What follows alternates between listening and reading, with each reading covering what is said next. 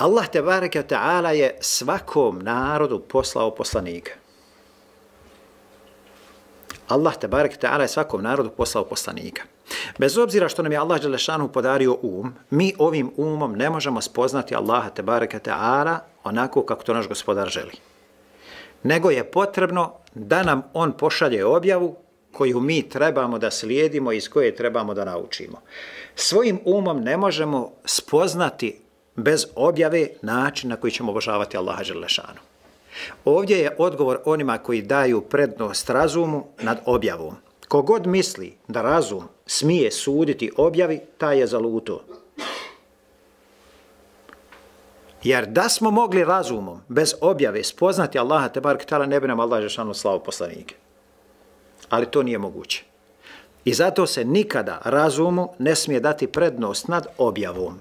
Nikada, to zapamtite.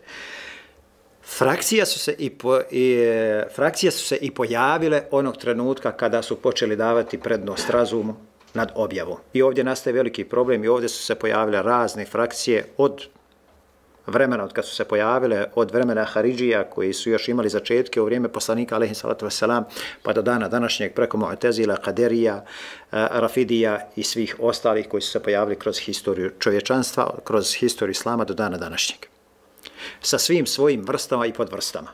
Zato što počinju razumom da sude objavi. Kad god počne čovjek razumom da sudi objavi, zalutaće s pravog puta.